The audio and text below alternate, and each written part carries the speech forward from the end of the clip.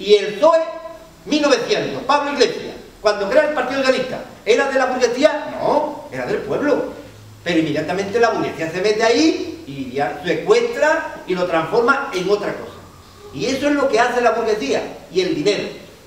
Y tenemos que tener en cuenta que es muy importante que hoy, después de toda esa experiencia, donde la burguesía se gana a los instrumentos, a la herramienta para engañar, para confundir, para explotar, para abusar del pueblo, hace falta que tengamos organizaciones evidentemente unitarias, muy vigiladas, con un control democrático de abajo arriba, para que no exista lo que está pasando.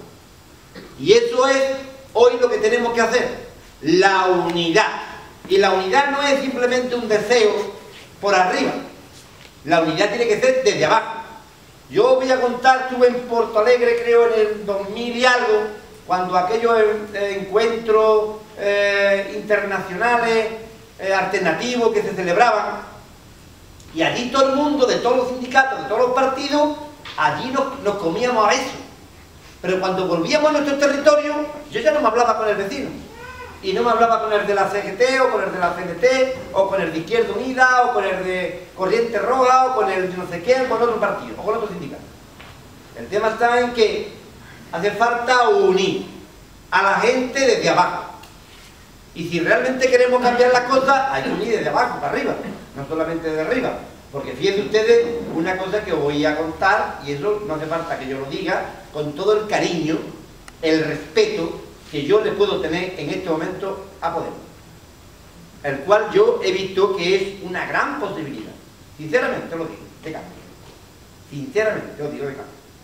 Pero si el pueblo no participa desde abajo arriba en ese cambio, con la militancia, con toda la gente comprometida, inmediatamente eso, que puede ser una buena idea, un buen proyecto, un buen proceso, se puede convertir, evidentemente se puede convertir en lo que se ha convertido otros instrumentos políticos, fundamentalmente en manos de la burguesía porque se, meterán para romperlos y para quebrarlos.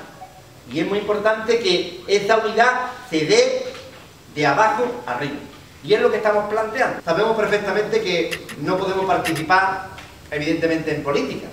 Entre otras razones porque en el sindicato existen todos los partidos políticos confluyen en este sindicato. Todos. ¿eh? Hasta del Partido Socialista. Tenemos gente en el sindicato. ¿eh? De todos los partidos. Creo que del PP no habrá ninguno. Por lo menos, pero bueno. Algún votante puede que haya por ahí, pero bueno. Lo que digo que partidos políticos reconocidos están todos los partidos en este sindicato. Y no tenemos que ser prudentes a la hora, como yo como portavoz nacional y como sindicato, de no utilizar sindicatos con fines partidistas. Pero sí el sindicato, que es un instrumento de lucha y de pelea, y se ha partido la cara, y el alma y el corazón, y se ha dejado ampollas en las carreteras de mucha gente, de los que estáis también aquí, muchos de los que estáis aquí, y hemos participado en todo, también tenemos derecho y obligación de decir que lo que pensamos. Y en este momento de crisis económica, que llevamos desde el 2007-2008, evidente, con, esta crisis, con este paro, con esta situación de, de atropello, pues se abre una posibilidad enorme de darle un cambio, no solamente en la lucha, en la calle, sino también en las instituciones. ¿Y por dónde tenemos que empezar? Pues por los ayuntamientos. ¿Por qué? Porque el 31 de mayo del 2015 está aquí ya. Y hace falta que los ayuntamientos sean herramientas del pueblo. Es decir, por lo menos que los ayuntamientos no se pongan en contra de la gente. Que los ayuntamientos no se pongan en contra de los que ocupan la vivienda. No se pongan en contra de las cooperativas. No se pongan en contra de los sindicatos, de los que luchan, de los que quieren libertad, de los que quieren justicia, de los que quieren claridad, de los que quieren transparencia, de los que están en contra de la corrupción. Que no se pongan en contra, por lo menos. Nada más que eso, por lo menos que estemos en contra. Y si al mismo tiempo esos ayuntamientos se ponen a favor del pueblo, de los trabajadores, de los ciudadanos, pues eso estamos ganando. Entonces hace falta cambiar eso. ¿Y por qué tenemos que cambiarlo? Porque los que rigen los ayuntamientos, la mayoría de los ayuntamientos, son del régimen del año 78. Son de estos dos partidos que son dinosaurios, son dinosaurios, son partidos caducos, son partidos corruptos.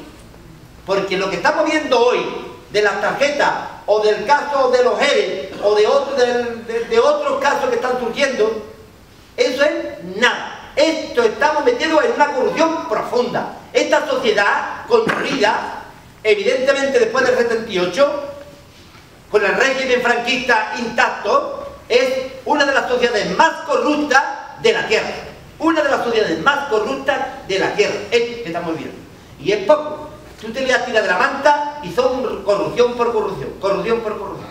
Porque la corrupción no solamente es que tú vayas 32 veces a Canarias a ver con dinero público. La corrupción no es que tú metas la mano en una empresa privada que te dé una, un cheque te dé una comisión por tu darle una empresa. Es que corrupción es ganar 6.000 euros públicos, un alcarduzo de leche o un concejal de leche, ganar 5.000 euros, 3.000 euros, 4.000 euros, cuando el 80% de la gente cobra 1.000 euros. ¡Ay! Esto es. Esto es si no hay unidad no somos nada. Y si no queremos cambiar esto, evidentemente podemos seguir tal como estábamos de aquí para atrás, cada uno con nuestra historia, porque el sistema puede. El sistema nos tolera a todos, al Partido Comunista, a Izquierda Unida, a la CU, a Jaleo, a los, corrientes, a quien sea, a Podemos, lo tolera a todos. Lo que no tolera el sistema es la unidad popular, la unidad de la izquierda, ganar las elecciones, empezar a construir una constitución nueva, darle soberanía a los pueblos y sobre todo que sea un referente en manos de la mayoría. Esto es lo que no tolera la sociedad. Lo demás sí lo tolera todo. Lo demás lo tolera absolutamente a todo. Y por eso yo creo que, hombre, San Lucas, o Cádiz, o Sevilla, o cualquier pueblo, nos tenemos que plantear el tema de la unidad. Dice que la unidad nada más que hay aquí un partido, dos partidos políticos, pero que no hay asociaciones de vecinos, no hay colectivos, no hay movimientos sociales, no hay grupos ecologistas, no hay... Pues todas esas cosas hay que decirle, o nos unimos todos para ganar las elecciones municipales con un programa, evidentemente en un programa, tú no puedes ganar las elecciones por ganar. Yo decía al compañero para echar estas entuzas, yo estoy de acuerdo en que hay que echar estas entuzas, pero también hay que tener un programa mínimo, evidentemente de lo que se quiere hacer. Un ayuntamiento hoy tiene muchas competencias, pero yo he estado alcalde de 10 años y cuando hay cosas que hacer, se hacen.